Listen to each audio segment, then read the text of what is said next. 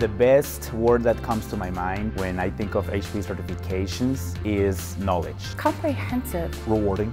I'd like to encourage anyone that works in technology to take a look at HPE's certification program. You have to set a goal, and if you just keep yourself focused on that goal, it might take you, you know, a couple of months, it might take you a year. It depends on where you are in your certification journey, but just don't give up on that goal. Go ahead, jump in with both feet. I know it looks like a lot of work. It is a lot of work. Uh, the first one's the hardest one probably, and then after that, you know, they kind of fall like dominoes. We love having new people join us. Just go for it. Don't wait, jump right in and do it.